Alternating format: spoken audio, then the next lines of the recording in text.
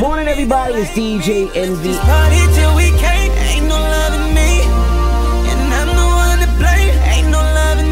So don't come looking for.